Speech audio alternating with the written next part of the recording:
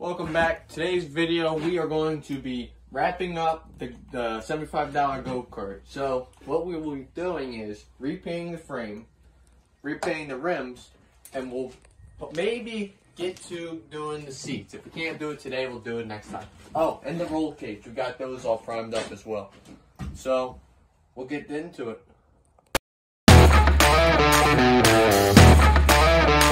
Alright, so let's talk colors. For the bottom part of the frame, we're going to use this blue. It doesn't look like that. I don't know why. But, and then these top rails are going to be, what's this, silver or gray? And then, what are we doing for the wheels? Same color. Same color? Yep. Alright. And then, where is it? The frame, it, the top part of the frame, like the roll cage, is going to be black. And then, we might use bed liner on the floor pans, but we'll get there eventually. So, when I was taking off these rims, I found out something that these are called two-piece rims. It's self-explanatory. There's the rims are in two pieces. Usually, you have two. You have, I mean, not two. You have one whole rim, and you just have to put the bead on. These ones have a tube on the inside and then the tire on the outside. And then you put the one side of the rim on, and then you put the other one on. It's pretty. They're pretty easy to do. They're pretty easy to work on, so I'm taking the air out so I can pull these apart and then it'll make make my life easier to clean up and we'll be able to get some of the rust out. So let's see here.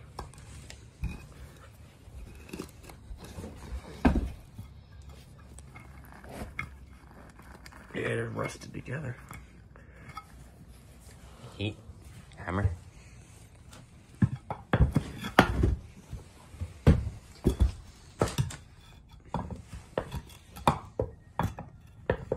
Pry bar.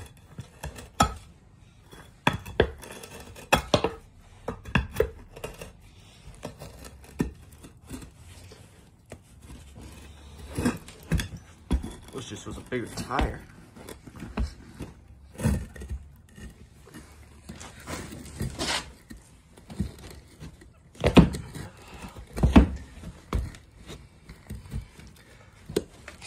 Look at this guy.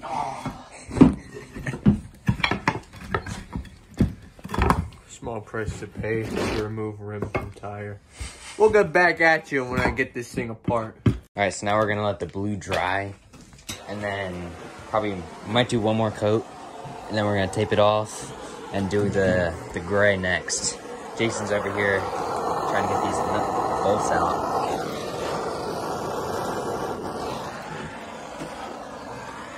Can you turn that off? Uh,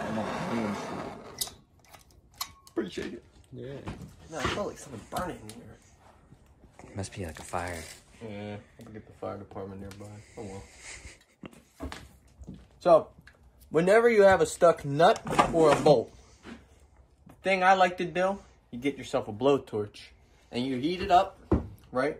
I usually put some penetrating oil on it first, and then I heat it up. We're not sponsored by them, yet at least. But what you do, you just heat it up. Well, you put that on there, sit sit for a second or two, and then grab that, turn it on, put it on it, and hold it on there for a little bit, probably about five minutes. And then once you think you're ready, you pull it off, spray it with oil again, and get one of these puppies, right? And you just come around, put it on there, and like that, it comes off.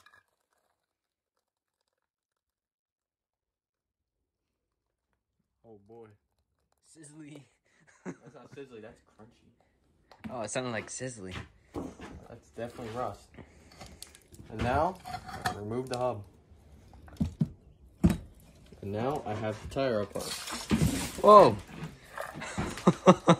So, Oh.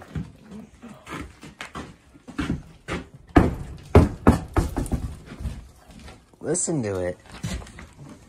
listen to this air out. See if maybe I can separate this rim. A little bummed out. I couldn't separate the rim on the other one. Yeah. So we're just, I'll work around it. yeah. It's no big deal. It's a big deal. Oh. Hurt my feelings. Okay. My feelings were injured beyond comprehension. Words cannot be described to explain the feeling I have. Emotions of defeat. fill my line. Alright, so I got safety protection on. Alright. So I'm gonna take this, called called the angle grinder, because you can grind on an angle. I'm gonna you know what I'm saying? I gotta watch that valve. Let's get on this side first. I'm gonna take this off. No. I can't get it in.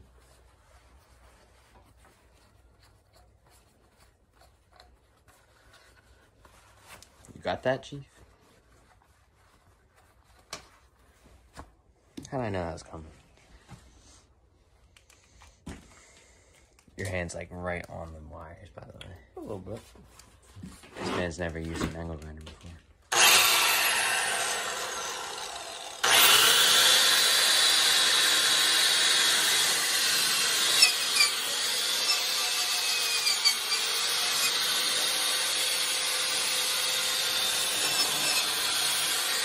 Alright guys, so two parts of the frame are done.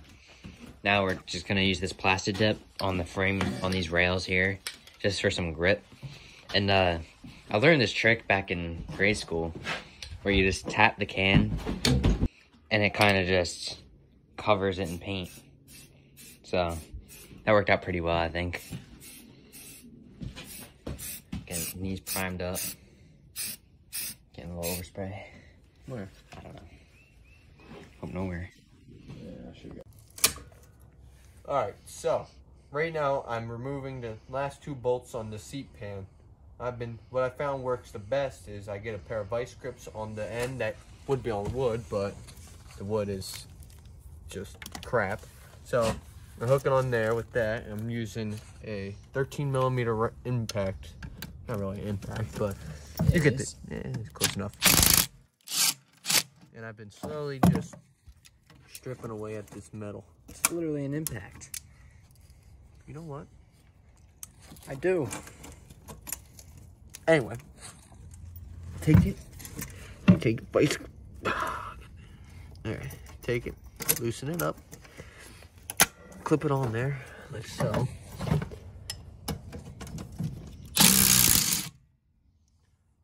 Off, and then you got the threads left on there.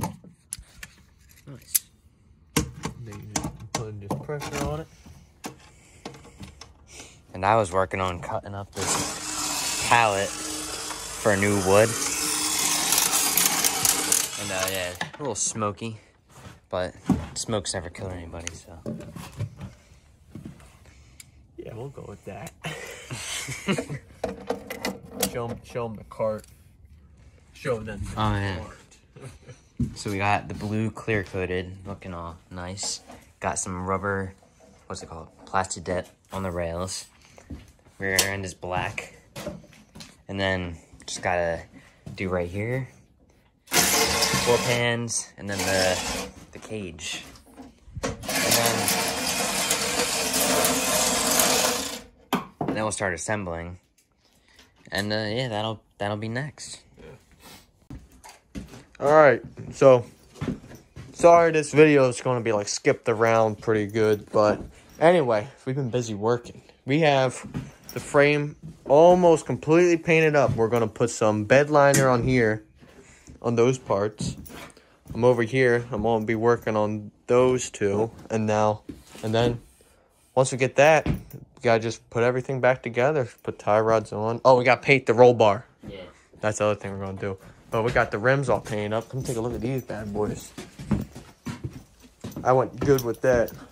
We figure we're gonna go with like a space theme because it's like it's like a it's like a like a space blue type thing, and then with the chrome on it, it's gonna. It may not look mu- like much now, but you just wait. It will look like a polished turd. Pretty much. Yeah. So Polished turd that goes 30 mile an hour. Thirty. We're we're pushing eighty eight. We're going back Oh, in time. Like that one movie with Vin Diesel. Alright, so that's all for today's video. We're going to just finish up painting everything and then in the next video, we'll be putting it back together. So, see you then.